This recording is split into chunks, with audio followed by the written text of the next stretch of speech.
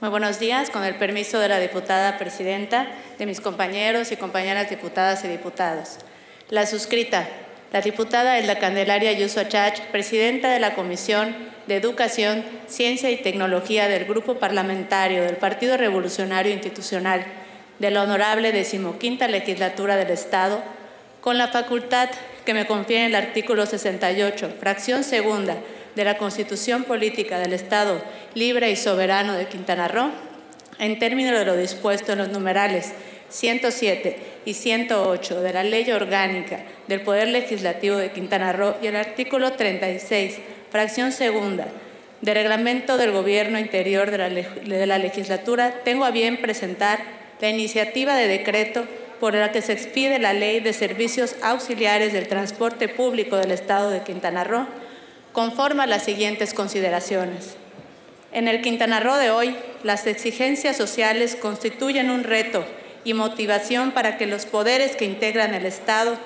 puedan ofrecer una respuesta oportuna a las necesidades de los ciudadanos para lograr conformar una sociedad más justa y equilibrada. Un compromiso ineludible de esta honorable legislatura radica en que sea debidamente atendida una de las principales demandas que hemos recibido de la ciudadanía. Consiste en los servicios auxiliares del transporte, en materia de grúas y corralones, ya que es de dominio público la molestia respecto de los servicios de arrastre, salvamento, guarda, custodia y depósito de vehículos.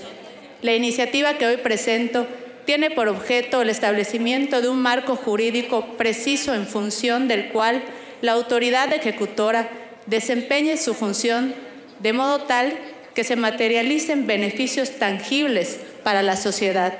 incluyendo evitar cobros exagerados a los usuarios,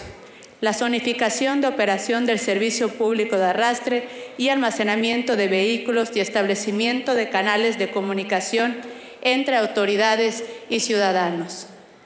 Las quejas ciudadanas sobre los servicios que presentan las grúas y corralones en el Estado son cotidianas. Constantemente los medios de comunicación documentan situaciones como cobros indebidos y excesivos a los usuarios de estos servicios, daños y robos de partes en los vehículos que son depositados en los corralones, servicios de grúa sin que cuenten con las concesiones respectivas, falta de conocimiento de las tarifas que se tienen que cubrir para el arrastre de los vehículos en grúas o por su estadía en el corralón. De igual manera, en el pasado se han documentado arreglos entre autoridades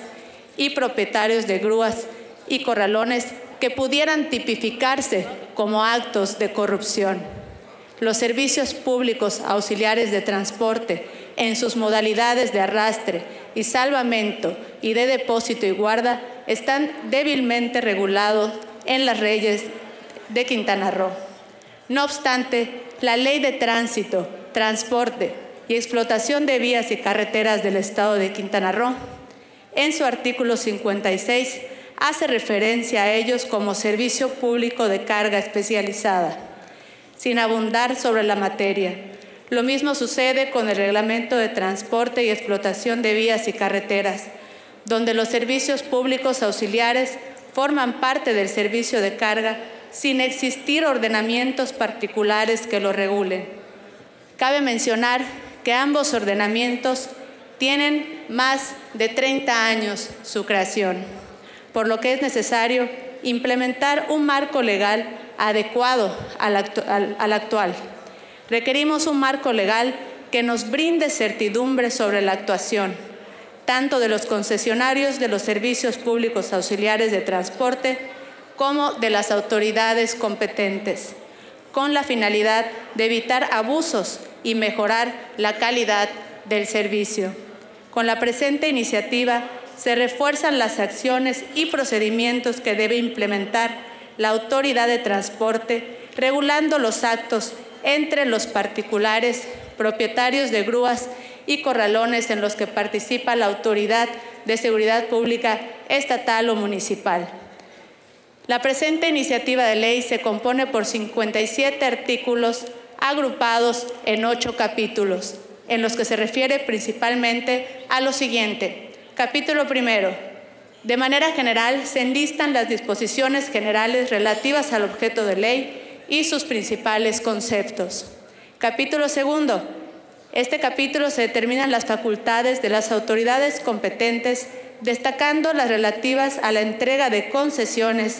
fijación de tarifas, determinación de zonas geográficas para la prestación del servicio, registro de concesionarios, realización de inspecciones, imposición de sanciones y atención de quejas y resolución de conflictos.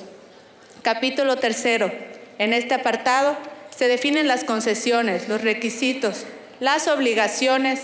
y los derechos para la prestación del servicio público auxiliar de depósito y guarda de vehículos y para la prestación del servicio público de salvamento y arrastre. Capítulo 4 se hace referencia al servicio público auxiliar de salvamento y arrastre vehicular, contemplando las condiciones del servicio, las especificaciones y características mínimas que deben tener. Asimismo, se describe la forma en que se debe de prestar el servicio. Capítulo 5 trata sobre la prestación del servicio público auxiliar de depósito y guarda vehicular, estableciendo las condiciones del servicio, las facultades del Estado para prestar el servicio, las especificaciones con las que se deben contar los lugares para el depósito de vehículos,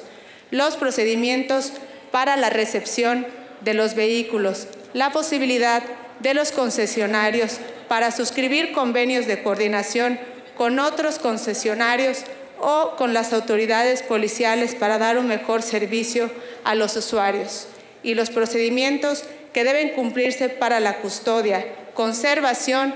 y devolución de los vehículos en depósito y guarda.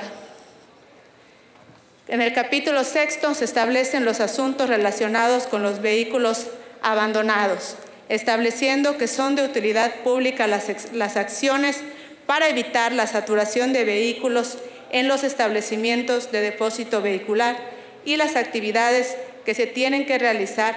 para la declaración de abandono de los vehículos y los procedimientos para su remate. El capítulo séptimo se refiere al establecimiento de las infracciones, como lo son alterar las tarifas autorizadas o no tener contratado el seguro correspondiente, entre otras más que se describen en la ley. En el capítulo octavo, finalmente, se indican las acciones administrativas por el incumplimiento de la ley pudiendo ser multa, suspensión temporal de los derechos derivados de la concesión y revocación de la concesión. Por todo lo antes expuesto y fundado y en ejercicio del derecho que me atribuye la Constitución Política del Estado Libre y Soberano de Quintana Roo, tengo a bien someter a la consideración de esta honorable soberanía popular el siguiente decreto único se expide la Ley de Servicios Auxiliares del Transporte Público del Estado de Quintana Roo,